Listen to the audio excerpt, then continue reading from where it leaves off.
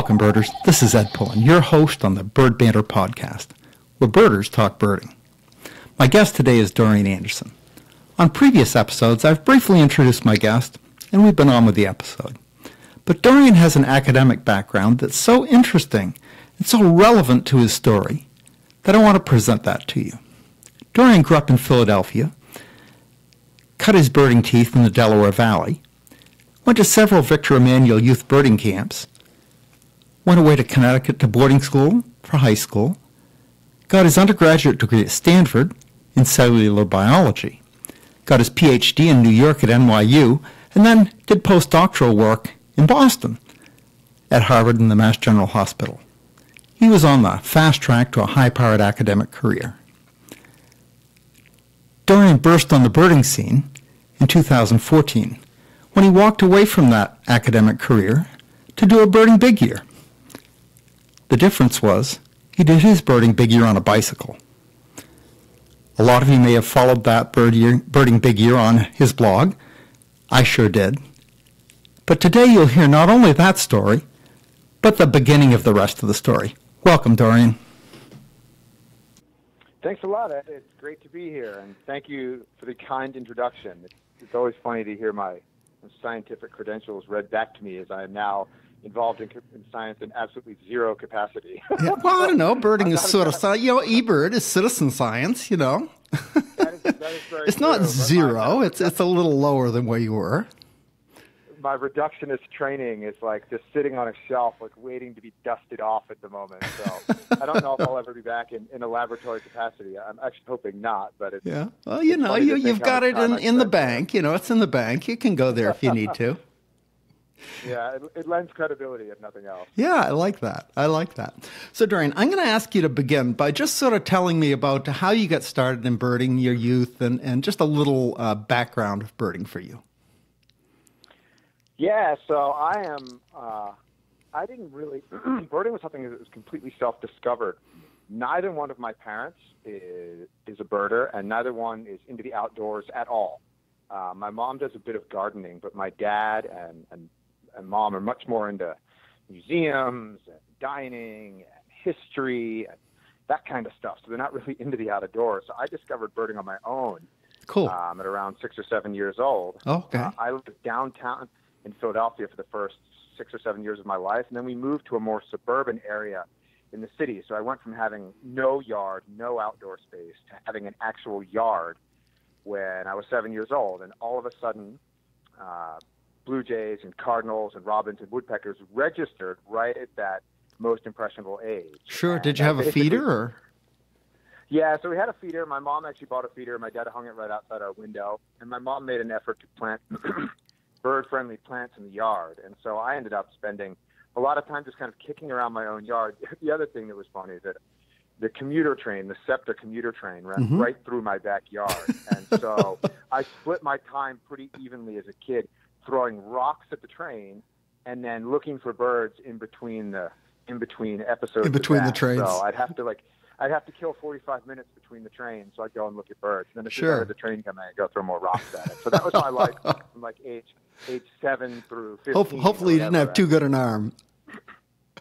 Unfortunately, I did, and I also threw fruit and all sorts of other stuff. So it was a disaster. Nothing bad ever happened, but it was just like one of these one of these things that I remember from my childhood of, of throwing rocks at trains and, and birding in the backyard. It was really it was, a, it was a wonderful experience growing up. Yeah, very nice. Um, very nice. And you mentioned the you, you mentioned VENT camps. Those were those are really instrumental in kind of connecting me to other young birders. My birding mentor in Philadelphia was actually Robert Ridgely, the renowned South American ornithologist. Oh yeah. And he he and I met through my mom and his wife, who were in a gardening club together. Um, so I birded with him a lot through my teen years, um, and then did the Victor camps. And then the interest took a took a big hit when I went to boarding school because yeah. I had no transportation and uh, and I was so and busy. peer pressure to not bird. Yeah. Yeah, it wasn't too bad there. It wasn't okay. Too bad there, but I just got, I just got into into other things. Like sure. I was so Hotchkiss is one of these pressure cookers. It's that you just don't have time to do stuff that's not sure uh, academic, athletically, or, kind of college motivated. Yeah, I, I, went to Bowdoin College in, in Brunswick, Maine, and, and there were a fair number of kids who who I went to college with who attended those sort of prep schools, and they are all-consuming sort of endeavors. You know, I mean, between Yeah. academics and social stuff and sports and you know, It's like going to college at age 15. Yeah. And I absolutely loved it, but I mean, it's you have four or five hours a night of, of homework and classes on Saturday, and it's interesting because a lot of people really like the boarding school model who end up there, and they end up getting fed to places like Bowdoin and Williams and Amherst and Stanford. um, and a lot of those small. I was, it's funny. I was the only one in my class out of like 170 to go to Stanford. Oh, really? Like 15 go to Harvard, 15 go to Harvard, 15 go to Princeton, 15 go to Yale. Nobody goes out west. Everybody stays in the Northeast. Yeah. Yeah, you broke away. You broke the mold. So yeah, and it was great. I loved my time at Stanford. I didn't do much birding there, unfortunately, because I was drinking a lot of beer and spending a lot of time playing ultimate frisbee. Uh, so the the interest really kind of got crushed through college. Uh, I'm pretty open about this. I'm actually an alcoholic. And Oh, okay. So, um, a lot of kind of my trajectory through my 20s was motivated by alcohol Yeah. and partying and other kind of social pursuits. And then it was when I kind of got sober that I ended up reconnecting with birding. And that is where the genesis for the 2014 Bicycle Big Year came. Oh, okay. It was kind of reclaiming some of these childhood dreams that alcohol and science to some degree, because I was so busy in my lab for those Sure. 15 years, had, had stolen from me, so to speak. Um, so that's why the, the big year it, it was kind of it was as much a, a personal endeavor as it was a birding endeavor, and I thought the bicycle would be a really interesting vehicle not only to explore physical space, but also to to explore myself. Yeah, you, you were pretty open about to- that in your blog. I know I followed your blog. Uh, I discovered it, boy, early in January of 2014, and Mm-hmm. boy, it was fascinating reading all year. It was, uh, it was great. Uh, I loved that. But Well, uh, thank you. But yeah, you were. I mean, it was it was clear that. That, that there was some element of this big year that was, you know, restorative for you. Hmm exactly, and I think that also in the time looking back since I've since I got off the bicycle, thinking about uh, my motivations and kind of and, and trying to understand myself better. It's been it's been a, it's been a very long process through the bike trip and in the years that followed, and it's ongoing, and that's what makes it interesting. I think that the bicycle trip is kind of one of the pins on which my life will swing, um, kind of not only away from science but towards a better understanding of myself. Um, completely independently of birding. And it was facilitated by birding. The analogy I give people is that the birds were there's there's children's pictures that the kids draw where they have numbered dots and you, and you connect Right. the dots with a pen Right. in, in the order and eventually a, a picture of some fuzzy animal like a dog or a cat Yeah. maybe a house emerges and, and the birds were the birds were those dots for me on my big year but the picture that emerged wasn't of of a bird it was of myself Sure. and I'm still connecting those dots today so Yeah. Hopefully, we all are to some degree. Yeah. Yeah, exactly. Right. It's it's a, it's an ongoing process. Life isn't static, and things change along the way. And For and sure. you you do you, you you deal with what cards you're dealt, and you, you play the best hand you can. You know, I wouldn't be doing this pod- podcast if it weren't for cards that have been dealt. My wife died about uh, just less than a year ago, and uh, and uh, you know, I, I've always been, and I retired from my medical practice a couple of years before that. Worked a little bit, but mostly retired. You know, so I'd have a lot of time to spend with her, and we did a lot of travel and some cool stuff. But and after she passed, I, yeah, I just didn't have a passion. It was nothing. I was, you know, I, I birded, like kind of dove into birding as an escape, and uh, and and birded like crazy for the last few months. But uh, yeah, I, I've always kind of been best when I've had a little bit of a hustle going. You know, a little bit of a little bit of you know a passion, something to get up in the morning and make sure I had something to do, and and uh, and thank you for being a part of my my my recovery or my uh, restoration Yeah, or whatever you want to call it. You know. And I'm sorry to hear about your wife. Yeah. Like, Well, you know, life happens. and- uh, But but uh, yeah, I think you met Kay at the, at the. I met you at the Rio Grande Birding Festival. That's right. I think it was a year. ago. It was the fall after your big year, and uh, Exactly. Yeah. yeah, Yeah. I, I had all sorts of uh, all sorts of unsolicited advice for you about your blog. Uh, some, some of which I've actually taken. I saw as- that. As I've kind of like, as I move beyond the writing projects that I'm working on now, Yeah. I'll have a bit more time to, to do some of the web development stuff that, that you suggested as well. Yeah, So, uh, yeah, you know, I think that's the thing. It's a, you got to have these little projects, and I think that birding, beyond for some people, it can be a passion and an obsession, and for other people, it's, it's just a diversion. And for sure. I always I always think of birding as like people play the lottery for a reason, right? There's there's an inherent amount of uncertainty built Yes. into the process. Oh And yeah. people yeah. watch people watch sports for the same reason that there's this uncertainty built into the equation and people who don't bird don't understand that it's that inherent uncertainty that, that drives birding as well because you never know what you're going to find and as a result it is that that's what makes something addicting. You know, if if you got the Birding- exact anticipated result every time you did something, it'd get boring. But but you know, things that you get really hooked on have that unpredictable, wildly positive result. Exactly. And I think that in a world where there's a lot of routine and there's a lot of stress, birding provides this this refuge of possibility against this backdrop of predictability. And Exactly. I, I think that until people get to experience that for themselves, they don't really understand the allure of birding. Yeah. People can understand that we can appreciate birds for their aesthetic qualities and for their interesting behaviors and and whatnot. But it's a bit more difficult to wrap your head around the process of birding Yes. until you understand the idea of possibility yes. um, and how that connects to excitement and motivation. Exactly, exactly. I, I hadn't put it in words quite that way, but you're dead on. That's that's perfect. Obviously, you think deeper than I do.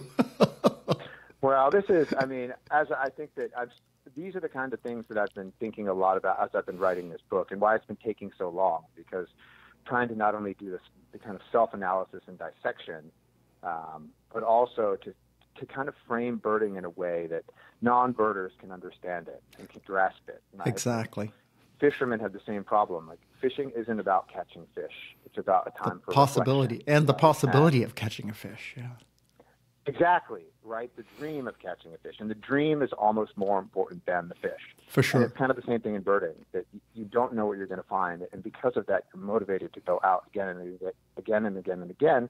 And you appreciate the common stuff, but you really, in the back of your head, hoping to see something different, whether it be a different behavior or something like a rarity. Or, or in your case, get the really good photograph, or all sorts of different Yeah, things. yeah, yeah. Yeah.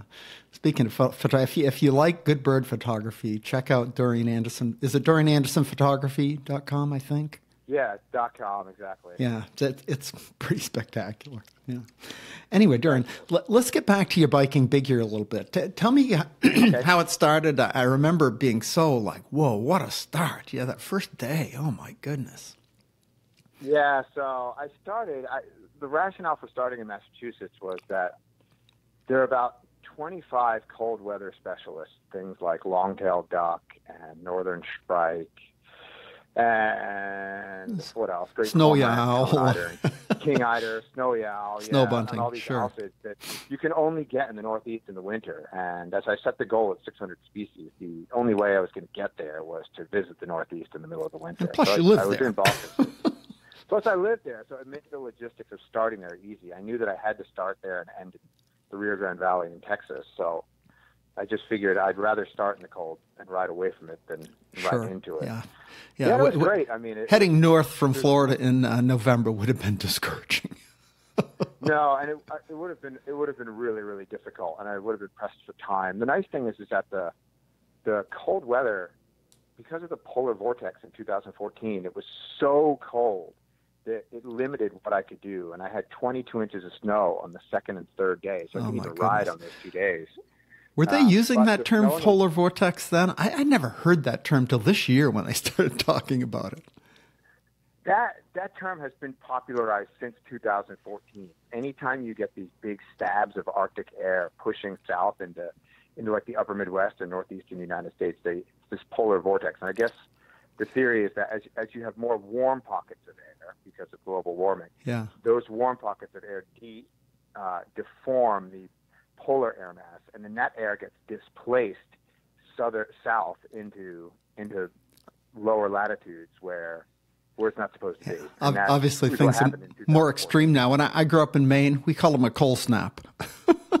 yeah, and but the thing is, that the cold snap in 2014 lasted for six weeks. Yeah. I didn't have a temperature above 30. I didn't above 32 degrees for the first five weeks, Oh, and it snowed. ouch. I had five or six different snowstorms, two of which dumped at least 14 inches.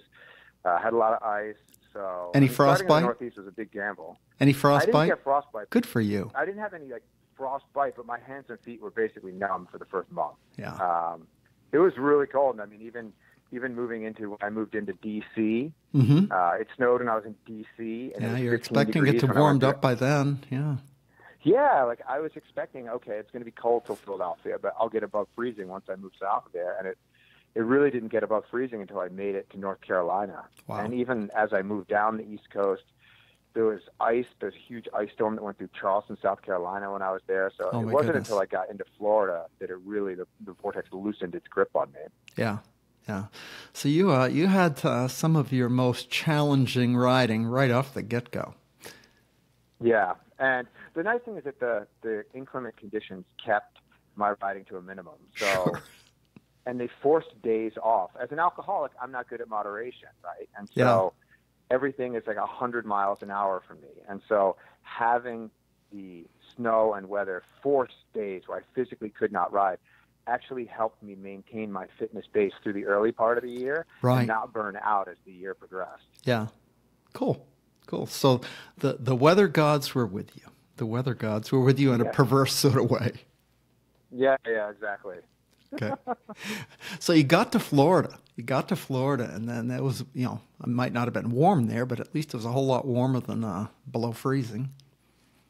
Yeah, it was nice. Florida worked out well. I ended up spending, I guess I got into Florida on February 22nd, and I probably spent the next month moving south through the peninsula. And I mean, getting wintering birds like yellow-throated warbler and those kind of southern, Sure. some of those southern specialties and limpkins. And then really, once you get to the bottom quarter of the peninsula, is really where it heats up. So then you get a bunch of the introduced exotics and Yeah. white crown pigeon, The Miami stuff, kite, those yeah. kind of things.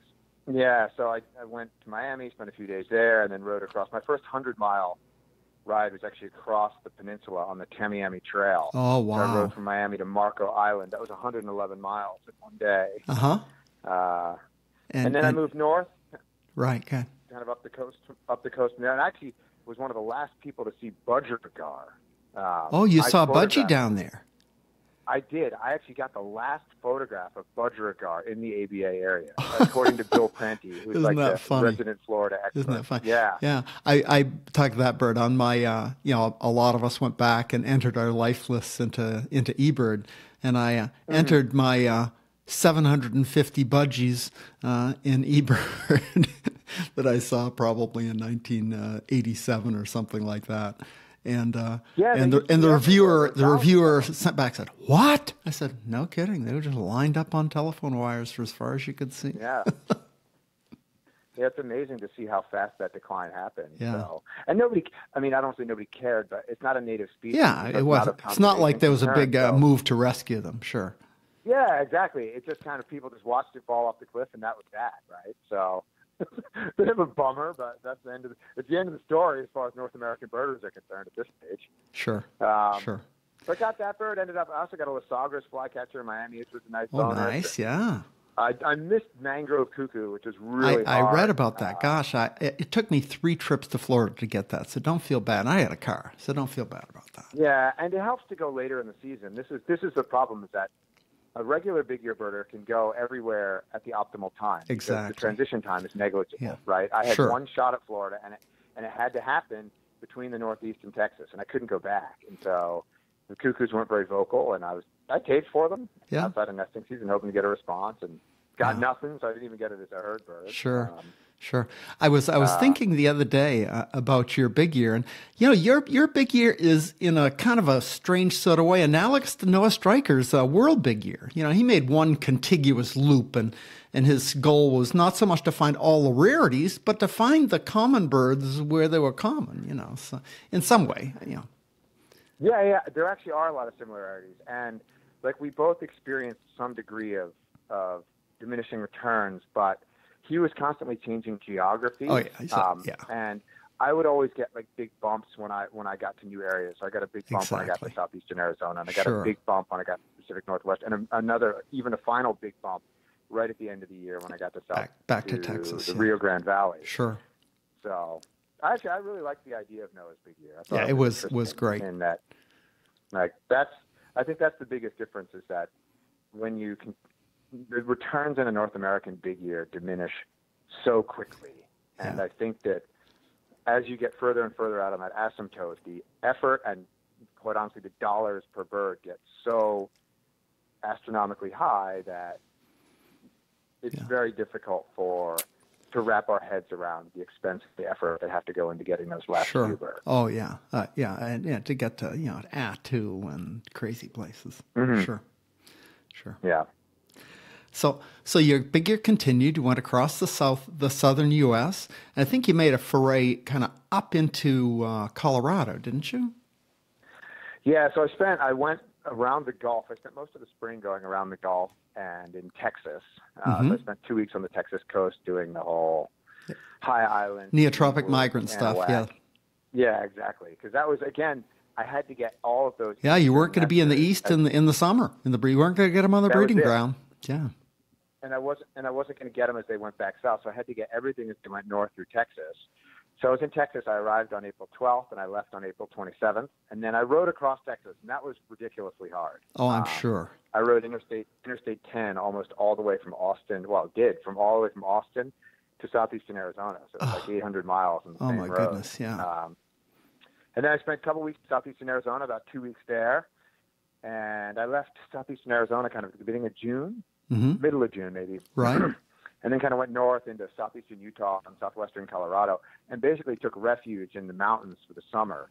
Uh, you could you can do a huge big year just doing like the Sun Belt of California, Arizona, New Mexico, Texas, Oh, yeah. the Gulf, and Florida, but it's too hot to be down there in the summer. So I went up into the mountains instead, and Colorado was like the best riding of the whole year. I mean, Oh. it was hard. I mean, I had the bike Serious hills. I had the bike up. o- Yeah, I mean it was.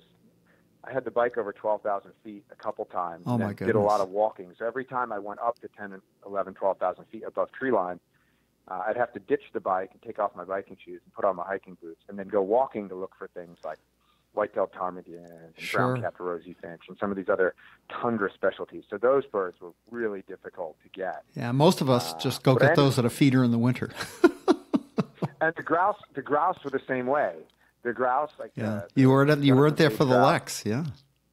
Yeah, exactly. I mean, normal big year birder can just drive up and be like ping, ping, ping, get them, if not all, in, in a week, maybe eight, ten days. Oh yeah, Uh, yeah. but the grouse are these protracted battles of of walking through habitat trying to flush them during the summer. So I Sure. eventually got them all, but sage grouse took forever to get. Sage grouse took like eight or nine dedicated days. Oh, it, they are really hard when they're not on their lek. I mean, unpredictable. Yeah, There- just- there's no you you, just have to can't plan on it. You just gotta you gotta flush them. it's a brute force function. Exactly. You have to you have to walk enough miles and step within 20 feet of one for it to fly because you're not going to see it if it doesn't fly. Um, Exactly. because this, the habitat's so thick. So yeah, I spent the summer in the Rockies, and then I actually did better than I thought I would in terms of pace. So I was originally planning on going kind of through south, southern Wyoming and then across southern Idaho, and then into northeastern Oregon, and then to the Pacific coast from there. But I was a lot stronger than I thought I would be, so I actually expanded my my route all the way up to the Canadian I border. know you got up into my northern my Washington. part of the woods. Yeah. And I got a bunch of cool stuff up there. I got spruce grouse I saw that. boreal chickadee, which were two birds I had were not on my radar when I originally planned out the trip. Yeah, and. I also got mew gull and marbled murrelet, which were really easy up there. And Mhm. I would have actually been moving south along the Pacific coast uh, below those birds. And Yeah. So I would have had a hard time getting those birds had I not gone up to Washington. I also got slaty-backed gull in that industrial. Yeah, that was that was right here in Tacoma. Tacoma. Yeah.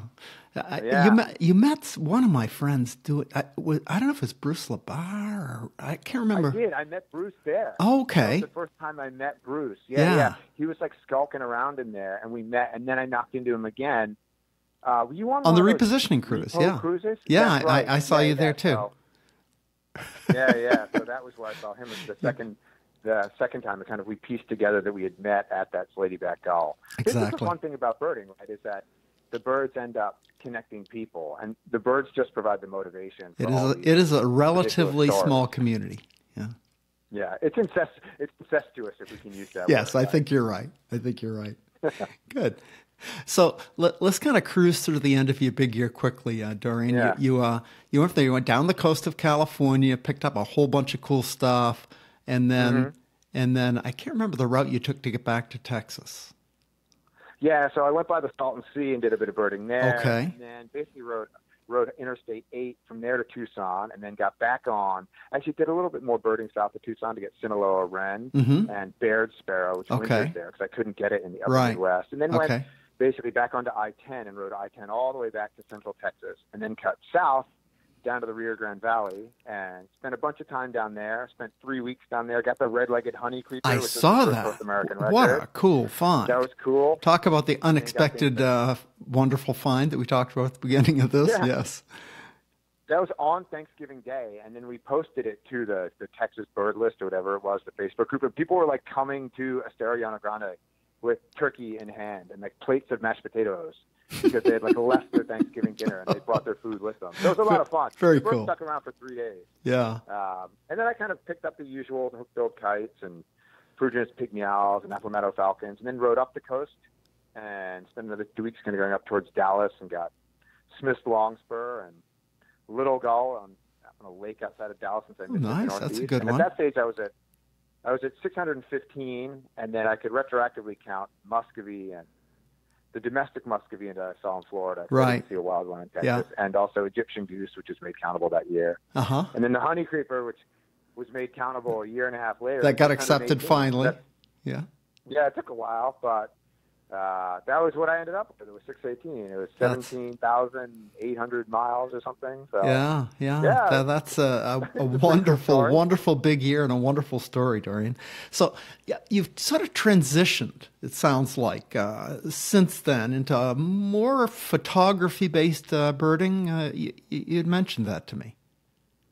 Yeah, so I I love bird listing and I love the collecting aspect of it, but I I've also started to see that pure birding for me doesn't necessarily hold the same allure as photography, and so I've kind of continued to juggle the two interests. Uh, and photography becoming more and more part of what I do. The big thing is that I don't bird, I don't drive to bird anymore. I do all of my birding from my bike. I didn't when I lived in LA for the two years following my Yeah. because LA was such a biking disaster. But since moving to the Bay Area, I do all of my birding from my bike, and I find I find driving to go birding very unsatisfying. Um, I really like having to strategize and work to think about how I'm going to go see what on my bike.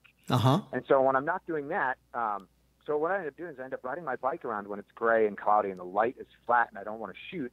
But on the days when the sun is out, I'm out with my camera and I have one of these huge 600 millimeter Mongo lenses suckers. Yeah. you can't really ride on a bike with. So uh, I've just found that photography has is wonderful in that it, slows you down to a degree that even bird even even birding doesn't. Like birding slows you down compared to real life, and then photography slows you down even more because most of my the shots that I'm looking for, I'm at a position now where I have an idea of the shot that I want, and and I kind of design the image ahead of time, and I say I want this bird doing this. How can I go and get that? And so if that's a sandpiper flying by, I have to find a place where the bird's going to fly by. I have to study the timetable to get the light right and really understand the behavior as these birds are going to be moving across a mud flat, when they're going to fly versus when they're going to walk. And I've really found it satisfying. I've learned much more from behavior, from photography, than I have from birding, actually, because I, I have to put so much focus on, on an individual species and often an individual within that individual species in order to in order to capture the shots that I'm looking for. Sure. Well, So sounds that's kind of the, the two pronged approach. Is the bike is one is how I do my birding, and the camera is the other thing. Yeah, sounds like you've actually done some uh, South American or Central American uh, birding safari, photography safari sort of trips. Tell us about that. Yeah, so that's kind of what I'm moving into now. As I still have a fair amount of writing to do on this book, but like that project is is hopefully going to be closed this year. Knock on wood. Um, I'm I'm I'm looking But I'm forward to it. Yeah, I know. I, I'm hoping that it's like even even if I finish the writing, I think it's going to take another six months. Um, but then it takes another six months to make. Even if they, if you have a book contract, it takes them another six months to actually physically get the book together. So it's Sure. going to be a while. Oh yeah, yeah. I'm I'm not But holding my breath. I- I've been I've been working with Alvaro Jaramillo here in, in the Bay Area of Alvaro's Adventures. Most of anybody who's into gulls knows Alvaro, and he's pretty well known in the birding community. He wrote the Field Guide to Chile. It's just it's one of these big personalities in the birding community. But I'm Uh-huh. going to be leading tours for him, so I'm taking a group to Colombia uh, this summer. It's billed as like a photo birding trip. So the idea is that it's a traditional birding trip, but there's going to be a bit more. Um, we're going to include a couple of places where people can actually do some photography, like at these setup, these feeder blinds or and I'll be available for photographic consultation. So I don't necessarily, I'm not going to lead the kind of photo trips where people are going to be sitting in a blind all day because I want to go birding. Sure. I, I want to be able to balance birding and photography. So, uh, but the plan is to do more of these and also to lead some traditional birding tours for Alvaro. So we're talking about trying to do a Cuba trip in December and we're working on Guatemala for next spring and Taiwan for next spring. So, wow. Uh, Exciting. The idea is to kind of, as as the book kind of winds down, to then transition into into doing some guiding. I don't want to be a full time bird guide. Um, not only is that not what I what I want to focus on, but uh, I don't think my wife wants me gone six months of the year. Yeah, that's Um, a tough uh, tough lifestyle on families. That is for sure.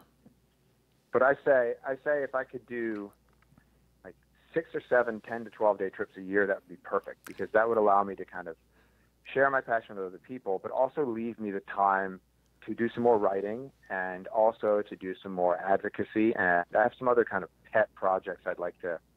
I'd like to work on moving forward. The project with the Audubon Society in Colombia this year was awesome. I spent Yeah, seven tell, weeks tell me about that. How did, what with- was that all about?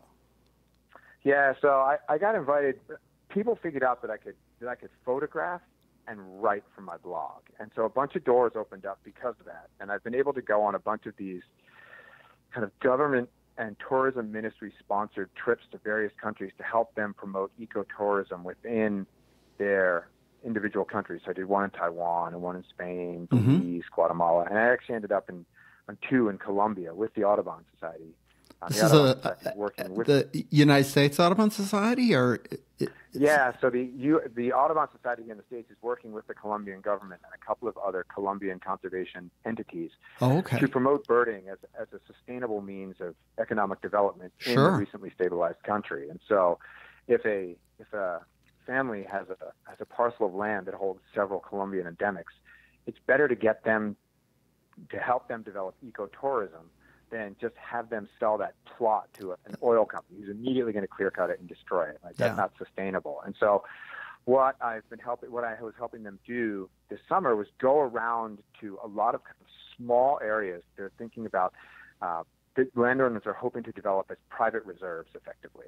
And helping these people not only kind of expose their properties, but also giving them suggestions as to what they can do to attract foreign birders to their properties. And so, what I was able to do then was suggest a series of itineraries through different regions of the country uh, that are kind of generic templates that Audubon offers to foreign birders, mostly American birders, on their own website, uh, that people can then modify depending upon what the goals of their trip are. So Sure. I say these sites are particularly good for endemics. These sites are particularly good for photography. This site is this site is really has great birding, but it requires a lot of walking. So this is a great site for adventurous birders. This is a great site Sure. for uh, mobility limited birders, and kind of people can use these generic itineraries to to tailor their own. Either tour companies can use it, or individuals their own very, very cool. Colombia. And and a lot of these countries, I just took a trip to Guatemala where I, I uh, Claudia uh, Claudia uh, Arendaro, I think is her last name. Uh, I used as a guide, and uh, she is developing a, a huge network of local guides. You know, people who just live in a town, and if you're there, you can get a hold of them, and they know the trails and the birds and which places are safe and which places aren't safe and just fabulous resources. Is has that been a part of this too? The developing local Yeah. local uh, birding guide resources. Yeah, so Audubon has actually spearheaded guide training in Colombia. They've done this in the Bahamas. They've done this in Guatemala. Very Uh, cool. they've done it in a number of countries now, and so they have these guide academies where people can come and take a course and learn not just the birds, but also kind of how the guiding industry works, Right. how you promote yourself, um, everything from group management and, and these sorts of things. Sure. So uh, it's a really cool project. It'll be interesting to see uh, how it plays out in Colombia. I think that, I mean, the country has more species of birds. It has 1,900 species. Yeah, it's got more species than any other country. Yeah. And it's Rock, jump, find- Rock I- Jumper I- has I that a thousand birds in a month trip you can take. yeah, I mean it's it's crazy. It's great, and I find Colombia safer than the U.S. I mean, I slept in unlocked barns and rural farmhouses, and with my camera, and I didn't worry about it. Like I wouldn't sleep in in the U.S. in a Motel Six with my door wide open, and I did that in Colombia. Sure. So the the security concerns are I don't want to say a non-issue, but they, they're certainly a different issue. They're else. certainly a different issue, Yeah. and uh, you know, like everywhere else, you have to you know have a general feel of what's safe and what's not safe. But uh, I, I agree. My travel in uh, Central America has been.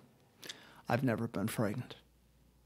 yeah, you know, it's people are friendly. There's a language barrier, but I speak enough Spanish to kind of fake my way around. Um, so it works out. But Good. it's been great. I mean, I've, I really, I think that that's another shift that's happened. Is that, I mean, I think that a lot of there's a huge focus on on the ABA list for a lot of North American birders, but I think that as soon as you start birding outside of the U.S., I mean, my mindset is why would is now why would I fly somewhere to go see two birds from my ABA list when I can go to Peru for the same price for two weeks you And know, see and 800 birds. species exactly. So once I started birding outside of the U.S., my ABA list started to mean a whole lot less. I mean, I still I still like it, and Sure. Well, you've and got a pretty good one. building it up, but yeah, it's still it's hanging in there. I mean, I haven't been to Alaska yet. So, Oh, I mean, there's gosh. still a ton of birds waiting for me there. But like Attu is a place I don't think I'll ever go. I Yeah, mean, you know that I I, the I just talked to a Christian tour. Hagenlocher last week, and Yeah, there are two spaces on the Attu trip. yeah, the space isn't the issue. It's the ten thousand bucks to do it, right? Like, that and spending So- yeah, 16 days on a 72 foot boat in the in the Bering Sea. Yeah. Hey man, I spent 365 days on a bike. I'm the most. I have the highest misery threshold of any birder in the world. I'm almost willing to stake my life on that. Yeah, So, I- I don't doubt that you're 16 right, but on a boat. I don't know. I, my, my misery threshold is not that high. I get seasick. I don't know. That just seems like I'd. Yeah, I mean, I, don't lead all know. these pelagic trips. I lead all these pelagic trips for Alvaro here on the West Coast, and also for Monterey Seabird. So I spend so much time on the ocean that I'm used to getting bounced around, even when it's really rough. So I, I Yeah. got the sea legs down. Yeah, good. You got your biking biking seat and your sea legs. You're you're just going to be made of steel pretty soon here. Yeah, I know. I my wife keeps hoping I'm going to slow down, and I don't. So it's kind of like I have all this energy, and she's wondering, like, oh, when is when is this going to get tempered? And I keep telling her, I don't know, honey. I don't think I don't think it ever is. Yeah. well, well, you've got a book in your future. We're all looking forward to that.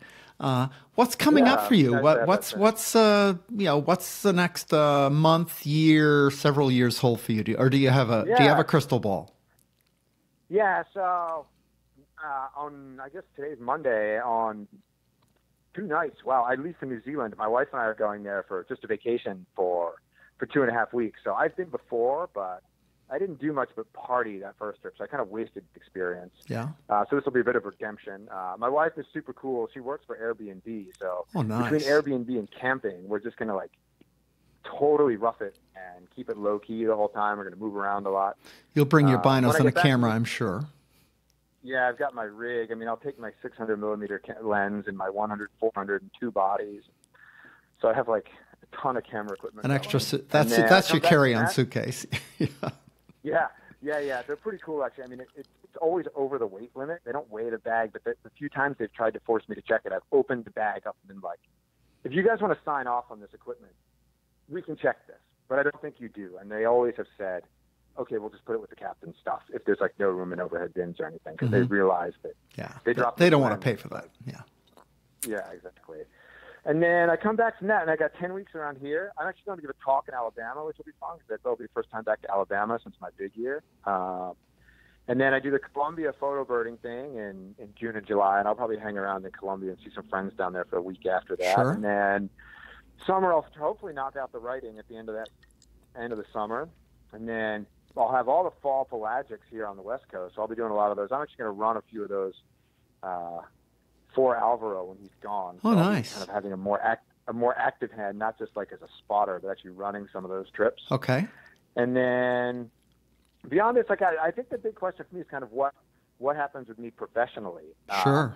I think that my wife, I'm I'm really fortunate. My wife has a killer job, um, and with only with only a dog in our foreseeable future as a dependent, um, life we have a lot of flexibility, and Yeah. so she's been super supportive of me trying to do this kind of writing birding thing. But I think ultimately, my ultimate goal is to get back on the bicycle and use the bicycle to build international community. So one of the projects I've been discussing, I don't know if this will come to fruition. I have to obviously finish this book and kind of close the chapter on this before I can start the next project. I'd like to ride my bike from Mexico to Panama um, wow. and spend six to eight weeks blogging and doing some video and, and talking about sustainable economic development and meeting local people. I mean, I think that there has been some some obvious demonization of anybody Latino in this country, and I think that's awful. And I think it would be Isn't a really it, cool project. Doesn't to, it make you sick? to, oh, God, I just... yeah, it's ridiculous, right?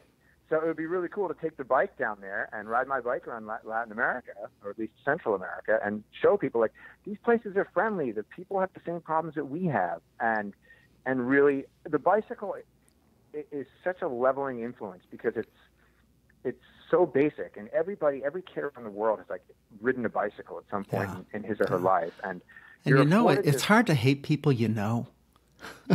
Yeah, you know exactly. And if you're familiar with people and and they take care of you and you trust them and they trust you, then you can build community. And so, in an ideal world, I'd like to be able to take my bike to different points on the planet, maybe once each year for six to eight weeks. My wife has signed off on this already, so that's the biggest hurdle. That's a big one. Yeah. and go and ex- go and experience these places from my bicycle, and then use that as a window to blog. And then, if I had the energy after this book to write to write more books, um, kind of just kind of use the bicycle as a vehicle to explore the world Cool. and and do some birding along the way. So that's kind of where I'd like to go. I mean, I don't know, and a lot of what I my future will be dependent upon what happens with this book. If my mom buys it, then I'm not a writer.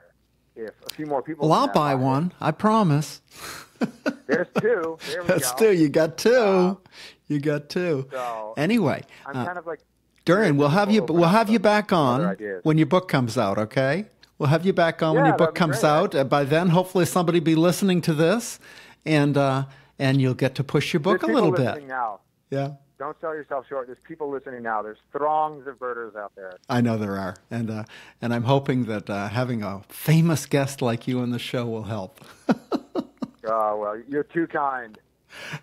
anyway, Dorian, uh, I, I want to give you a chance to shout out anything. How how can people uh, find you if they need to find you online? You can find anybody these days. But what are good ways to get a hold of you? I actually have this like signal. It's like the bat signal that I can like project up into the sky. Perfect, perfect. I'll make sure I go out, but there's too many clouds around here, Dorian. The, the clouds here will make that not work. So uh, maybe something else. Yeah, the, the easiest thing to do is to get in touch. And my blog is the Speckled Hatchback, and I write about my travels there and also some local birding stuff and just I put up a lot of my photography. So the Speckled Hatchback, Okay, I'll I'll make sure all these are in the podcast notes. So and my, my email is just the speckled hatchback at gmail.com. Um, and then the other thing, my I have my photography website and my contact information is linked off of there as well. That's just DorianAndersonPhotography.com. perfect.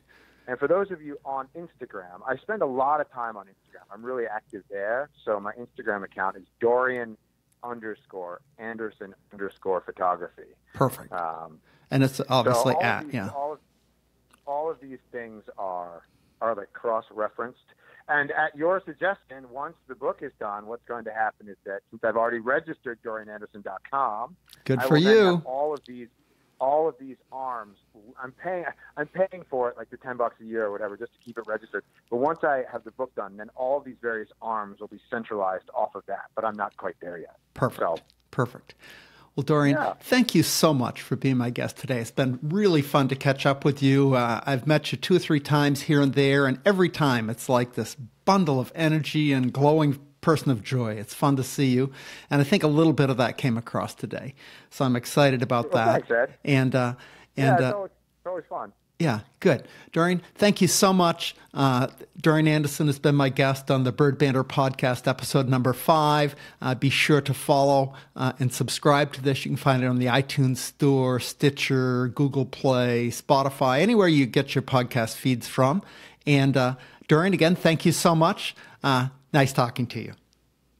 Yeah, cheers, Ed. Enjoy Southern California next week. Yes. Bye bye. So if you enjoyed this episode of the Bird Banter podcast, leave a five star rating and write a review on the iTunes Store, Google Play, or wherever you get your podcast feeds. Those efforts on your part will help me continue to get really strong guests. I'm looking forward to it. Good birding Good day.